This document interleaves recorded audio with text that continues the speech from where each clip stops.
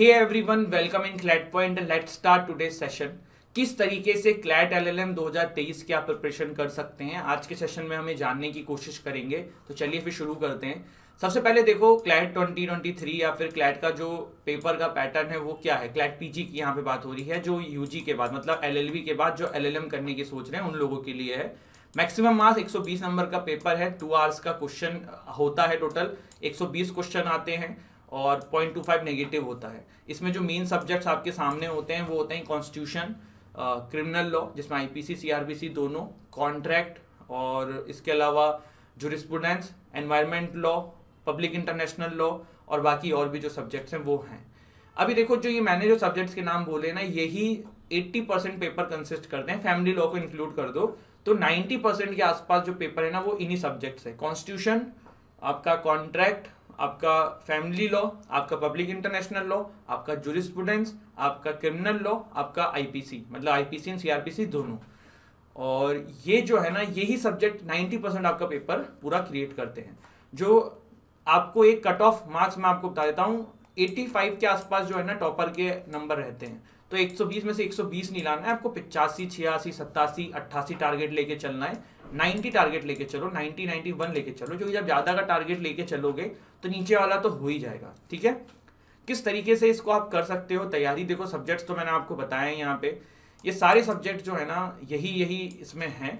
अभी लेकिन कुछ पेपर पैटर्न ना पहले से चेंज हो गया है। इसमें देखो, कुछ कुछ एक्स्ट्रा सब्जेक्ट्स भी लिखे हैं, जो आप नहीं भी पढ़ोगे। जैसे कि इंसॉल्वेंसी बैंक कोर्ट्स के सिर्फ़ केस लॉस कर लोगे ट्रांसफ़र ऑफ़ प्रॉपर्टी एक्ट ठीक है। कंपनी लॉ पे एक दो क्वेश्चन आ जाते हैं, अगर करना चाहो, कर सकते हो। यहाँ पे एडमिनिस्ट्रेटिव लॉ नहीं चलेगा labour industrial law taxation law इन सबके केसेज आ जाते हैं। तो अभी जो नया पैटर्न आया है ना, इसमें देखो सबसे बड़ी चीज़ जो हुई है, वो ये हुई है कि आप लोगों के सामने ना केसेस के थ्रू क्वेश्चंस आते हैं और पैराग्राफ वाले क्वेश्चन आते हैं। और 2023 का पेपर दिसंबर 2022 में है, और ये मत सोचना कि 2023 में एक और पेपर होगा। नहीं 2023 वाला ही पेपर छह महीने पहले ले रहे हैं। अब एक क्वेश्चन लोगों के दिमाग में आता है कि सर, हम तो फिफ्थ सेमेस्टर में फिफ्थ ईयर में है और नाइन्थ सेमेस्टर में है तो हम कैसे एलिजिबल है? भाई तुम एलिजिबल हो। क्योंकि जब एडमिशन होगा ना तब आप टेंथ सेमेस्टर पास कर चुके होगे जून जुलाई तक तब आपका एडमिशन होगा। तो इसीलिए पेपर वो पहले ले रहे हैं। अब बात करते हैं आ, हम किस तरीके से आप तैयारी कर सकते हो? तो देखो पैराग्राफ वाले क्वेश्चन आते हैं। जैसे कि एक टॉपिक पे क्वेश्चन आ गया। जैसे कि सीआरपीसी का कोई सेक्शन है मान लो थ्री वन वन पे क्वेश्चन आया।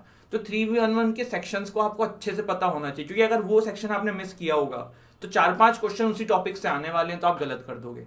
जैसे कि क्या होता है कि किसी एक टॉपिक पे पैराग्राफ आ गया। मान लो बच्चन सिंह डॉक्ट्रिन से रिलेटेड या फिर अभी कोई रिसेंट केस है, उससे रिलेटेड पैराग्राफ आ गया। तो अब ये जो क्वेश्चन आएँगे ना, इसमें जो पाँच, वो उसी पैराग्राफ से रिलेटेड आएँगे।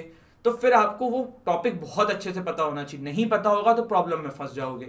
तो ये है। दूसरा रीसेंट केस लॉज ना बहुत इंपॉर्टेंट है। Recent case laws important landmark judgments amendment legislation जो रिसेंटली हो रहे हैं तो recent legal current affairs are also very important तो ये कुछ बेसिक चीज़ें हैं इस प्रिपरेशन के रिगार्डिंग अब आप इसकी तैयारी कैसे कर सकते हो? देखो क्लैट पॉइंट आपको ऑफ़र करता है क्लैट पीजी अचीवर्स बेस्ट 2023 इसके अंदर आपको सारी क्लासेस स्टडी मटेरियल सारे वीडियो क्लासेस सब्जेक्ट्स की, जो कि रिकॉर्डेड फॉर्म में as well as live sessions दोनों की तरीके से प्लस आपको स्टडी मटेरियल आपको टेन मॉक टेस्ट जो आपका एग्ज़ाम आने से तीन महीने पहले हम ही लोग शुरू करेंगे इसके अलावा आपको पर्सनल मेंटरशिप भी मिलेगी। मतलब you will be connected to a personal mentor जिसको आपको कभी भी कोई भी डाउट होगा, आप एक मैसेज करोगे he will call you back and the mentor will be belongs from top NLUs जो एलएलएम करे हुए हैं। वो हमारी स्टूडेंट्स हैं जो एलएलएम कर रहे हैं एनएलयू से, और वही लोग आपको मेंटरशिप भी देंगे। और क्लासेस तो है ही हैं, और आप लोग टीचर से ही बात कर सकते हो।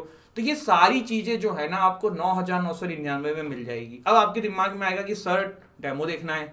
तो भाई डेमो देखने के लिए डिस्क्रिप्शन में हमारी ऐप का लिंक है। उस ऐप को डाउनलोड करो। वहाँ पे जाओ क्लैट पीजी अचीवर्स बैच में जाना सेलेक्ट करके वहाँ पे डेमो क्लासेस हैं, आप देख सकते हो। कोर्स अच्छा लगे, वहीं से परचेस कर लेना। कॉन्टेक्ट नंबर भी आप चाहो तो कॉन्टेक्ट भी कर सकते हो। इसके अलावा जो लोग सेल्फ प्रिपरेशन कर रहे हैं, उनके लिए मेरा जो सजेशन रहेगा, वो ये रहेगा कि देखो थोड़ा सा कोचिंग लेने में और सेल्फ प्रिपरेशन में थोड़ा सा जो अंतर आता है, वो ये रहता है कि आपका जो टाइम है ना, वो इसमें भी वेस्ट होगा कि क्या पढ़ना है, क्या नहीं पढ़ना है। आज की डेट में किसी भी एग्ज़ाम को क्रैक करने के लिए ना, बहुत ज़्यादा हार्डवर्क की ज़रूरत नहीं है स्मार्ट वर्क की ज़रूरत है। अब स्मार्ट वर्क में क्या आएगा, क्या नहीं आएगा ना, वो मेहनत हम कर देते हैं। और वो आप लोग के सामने रख देते हैं, सिर्फ़ आपको उतना अच्छे से पढ़ना होता है। अब आप खुद पढ़ने चलते हो तो आप सब कुछ पढ़ते हो, जैसे कि एक एग्ज़ाम्पल ले लेता हूँ मैं। सीआरपीसी में आप मोटी मोटी किताबें पढ़ने लग जाओगे, भाई वो नहीं आता है। क्वेश्चन जहाँ से आते हैं ना, वो फिक्स सेक्शन हैं फिक्स तरीके की चीज़ें होती हैं।